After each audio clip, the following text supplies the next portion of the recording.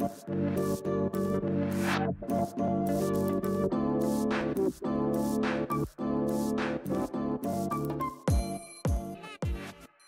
everybody, Javan Bernakevitch here with All Points Design. That's allpointsdesign.ca and Neil Bertrando of RT Permaculture.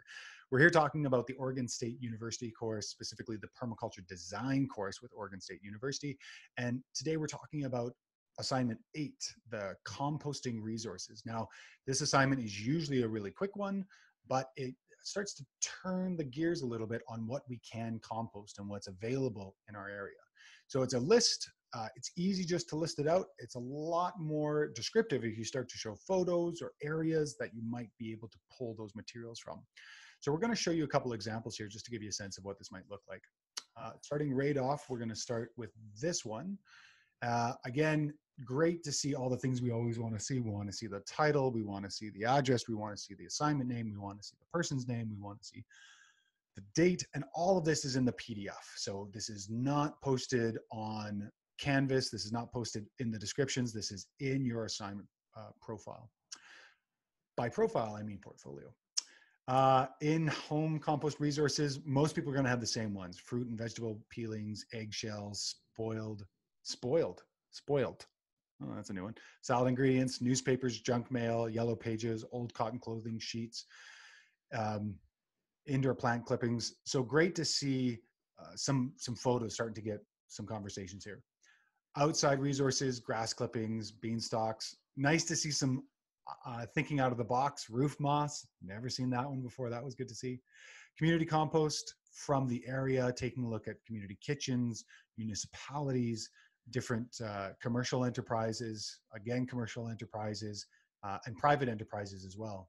So taking a look at newer uh, uh, C&D trees producing sawdust for compost, cardboard from Tesco, and then other potential possible use of large holly tree in front of yard. So potentially taking down a tree and, and reusing it. So already starting to think could we take some of the elements here and use them for composting?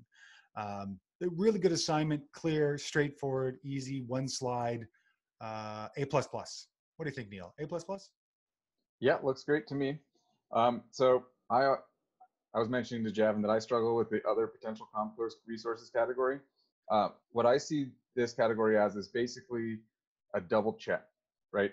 Have you thought of everything? It just asks you the question again. What else is there? What else could there be? So, and that that's a good design process. It's like, okay, we've gone through, we've brainstormed each one in a category, but is there something else? And then does it fit into one of these categories? So that that's what I, I like to see there is just, it's just refreshing the mind, getting try, try to keep thinking outside of the box so you don't get stuck tunnel vision in something. Um, one of the things that we're doing on this assignment is we're creating a set of lists. Now, these lists are kind of isolated into their categories and just general at this point. What I would encourage you to do to take this assignment to a more advanced level is start to organize the quantities and the frequencies at which these resources become available. Because what that will allow you to do is integrate them both into your zones map, like how frequently and how often are you going to be using these, where are they generated, that sort of stuff. If, if they're in home or on site, where are they located on the site? And what what I would do in a design process, taking this to the next level, is I would look at how much of each I have. Are they green or brown? Am I going to be mixing them, or how am I going to be using them on the site?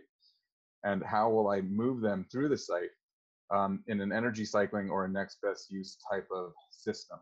So that that starts to apply some of these other permaculture principles and design um, methods to the compost resource assignment. Great pieces from Neil. Uh, something really to, to keep in mind is starting to piece these out in terms of the browns, in terms of the carbon, and the greens. And now greens can be further split into green material and nitrogen material, living material, and really the fire material. So if you have gotten deep into the soil section of the course, you'll already have the background to be able to delineate these. Uh, if you haven't, again, this is a very basic assignment. You don't have to go the extra mile, but I'll tell you this much, the further you go in each of these assignments, the more detail you take in them, the more of the advice you take from Neil and I and the other instructors, the better off you'll be. Come out of this course with as much knowledge and understanding as possible, and you'll be way better off. I was going to show you a couple others, but truthfully, they're all the same. You're going to see the same thing over and over. And as you see your your your your uh, classmates uh, assignments. It's going to be lists upon lists. Some people are going to be funny. Some people are going to show some great examples, but this is going to be the same thing over and over. So really make sure you have comprehensive lists. Make sure it's in your assignment, in your portfolio. Make sure you split out if you're interested into carbons, your browns, into, into nitrogen, your greens, and into your non-nitrogen greens, just so we get a sense that you know what we know. Make sure you get a sense of what the volumes are that you have to work with and potentially the frequency. Are you taking a look at going to the coffee store once a week? And if so, it's half a pail, a full pail, a five gallon pail. That starts to give you a sense of priority of the bill of quantities you'll be working with down the road as you start to build your site. So I think we'll leave it there, Neil, unless you had anything else to share. Um, I, I, have one, one other thing just to think about from a compost resources perspective is how are you planning on, on using it? There's, there's a few different ways that I frequently use compost.